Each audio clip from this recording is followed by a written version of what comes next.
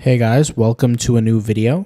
In today's video, I'm going to show you how you can sell different products on Zazzle, specifically pattern type products on Zazzle with the help of AI. So let's go ahead and get started.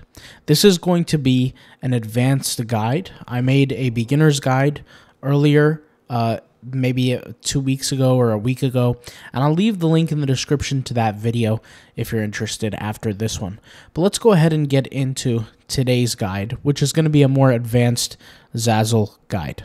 Now, to be clear before we begin, the two most important things when it comes down to Zazzle is primarily finding the right tags for a product that is actively being searched for that is the first thing.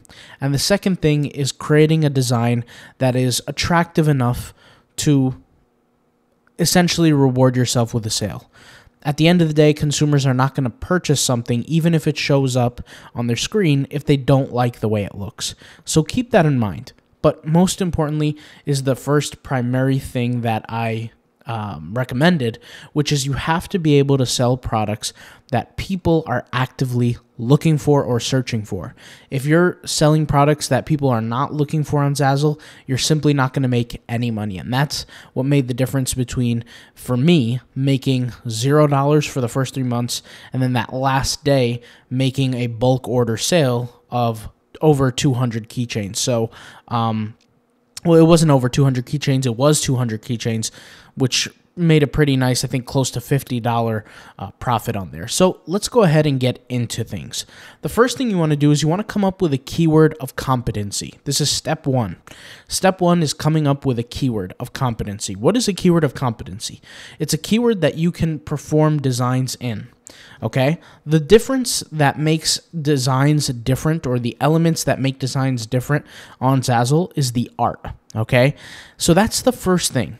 Let's just say I have the capability of designing dinosaur type designs, whether it be greeting cards, whether it be business cards, whether it be, uh, you know, stickers. It really doesn't matter what it is. But let's just say that's what I have a capability of doing for now, right?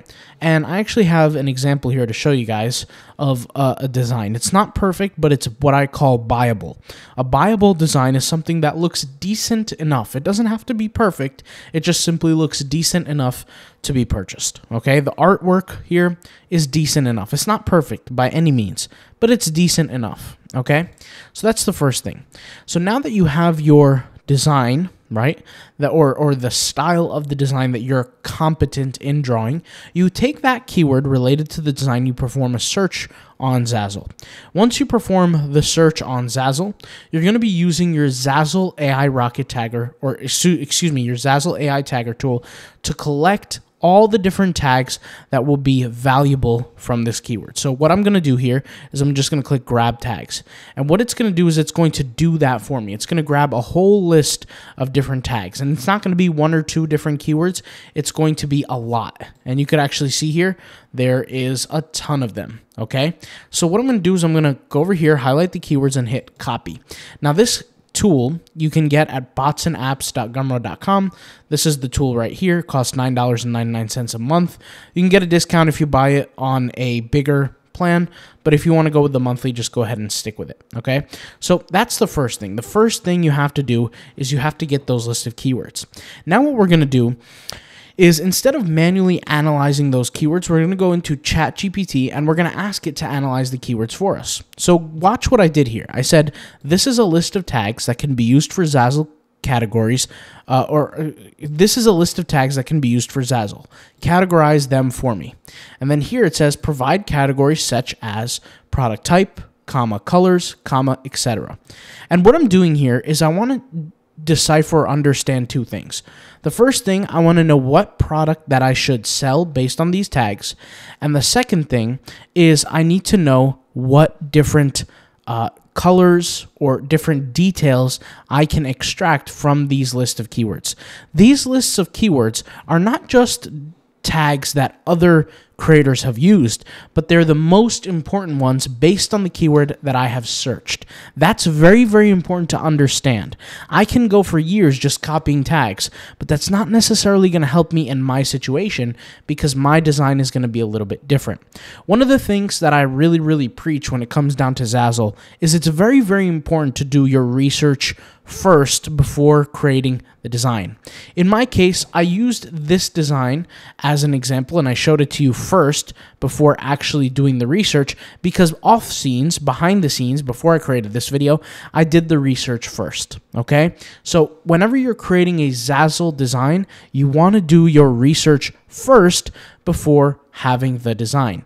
And then once you do the research and you're fully aware of what you're going to create, that's when you go ahead and apply your design to the specific product. And the research specifically relates to the product type you don't want to select any kind of random product type. The product type really makes a difference. So what we did here is it provided us, after pasting those tags right here, and you could go ahead and do that like this, right, from the list that you got, what it will do is it will start categorizing these keywords. I don't know how many keywords there are here.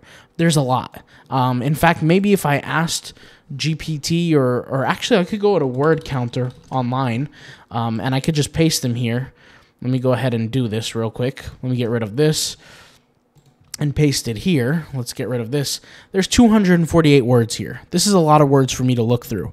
And I want to do this with speed. So here we have some things. We have the product type. The product type that is the most beneficial for the keyword dinosaur, okay, to sell in is stickers, birth announcement cards, invitations, baby shower invitations, and party favors. Now, party favors I'm going to ignore um, stickers I'm going to ignore as well because I have a pattern here. Now, don't get me wrong, I could definitely make this work with a sticker, but for now, let's just go ahead and use this product that I'm using, which is going to be an invitation type product. And the reason why I selected invitation type product is because it said invitations right here. So keep that in mind. It also said baby shower invitation. So it seems like there's a strong um, strong pull for invitation type products for the keyword dinosaur. Very, very important to understand. All right. So now that I got my product and I selected my product, I have my design, it's time to get working on my design. Here it says color blue, red, orange, yellow, pink, rainbow that's fine. I'm not really too much interested in this. It's going to be a child childish type design. So, of course, it's going to have a mixture of different colors. So, I'm not going to worry about that. Here we have the theme. The theme is pretty obvious. For us, it's going to be a dinosaur type theme. Uh, of course, with dinosaurs, you have other type of stuff like prehistoric, jungle, boho. That's normal, right? Here we have finally the occasion. So the occasion for this product is extremely, extremely important. In fact, you can use the word occasion in your prompt here to be able to decipher and know what kind of occasion you are creating for. And because this is important because this is going to jump into your design approach. So if your design is birthday related, make sure you communicate that through your design. You could even look at other birthday type designs and communicate that and, and talk about, and when I say communicate it, use certain words on your invitations. For example, you're invited to our fifth birthday, second birthday, 10th birthday, whatever it is. Okay. So keep that in mind as well.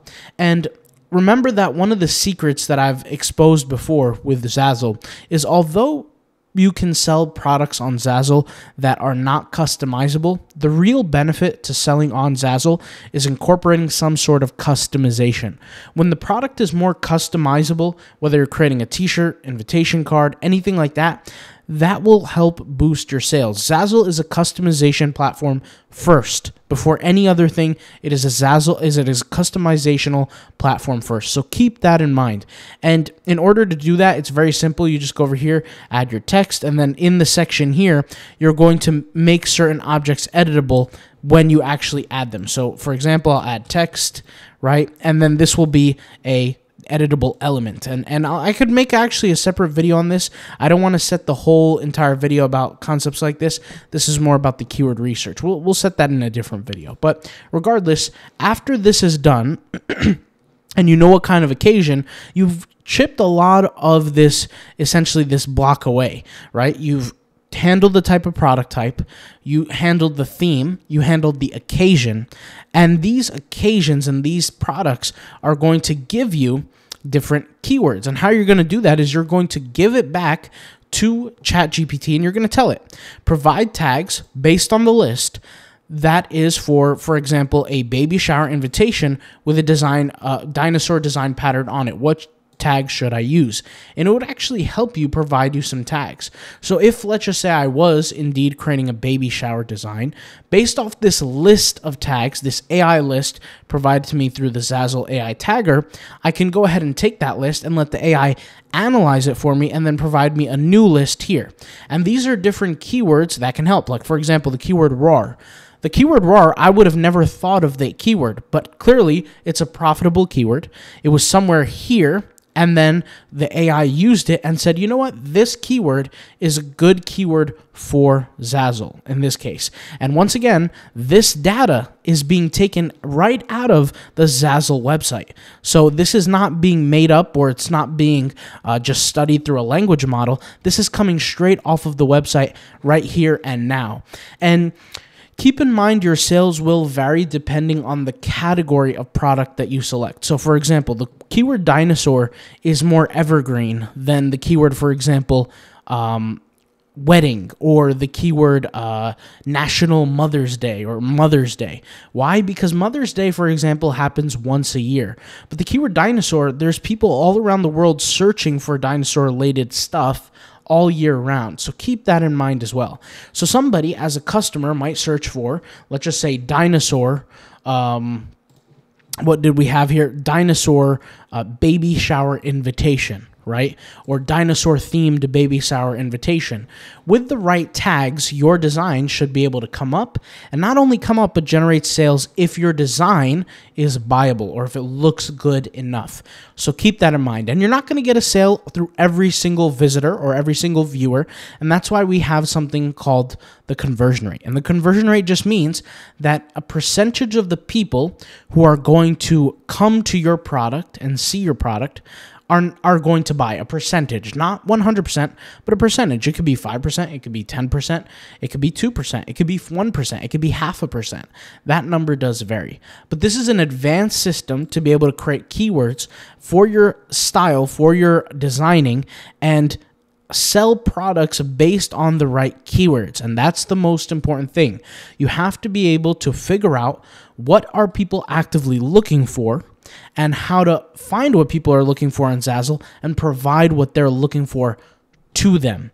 And that works in two ways. That works in firstly the visual aspect, which is the actual design aspect, and that also works in the tagging aspect, the keywords aspect, because people are going to search for things that they want to see.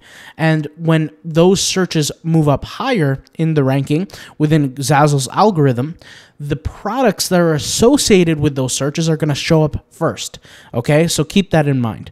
I'll talk to you guys later. Thank you guys for watching. I'll leave a link in the description to my Zazzle course if you guys want to learn more about it. I'll actually leave a link right here autopilotpassiveincome.com, Zazzle tagging course. The link will be in the description if you want to check it out. Um, and I'll leave also a link in the description to the tool if you want to use it as well, but make sure you use it with ChatGPT. It actually helps out a lot, take out a lot of the effort. I had to do this manually before. Now it just helps, you know, kind of set this all up for us. So thank you guys for watching. Talk to you guys later. Peace out. Bye.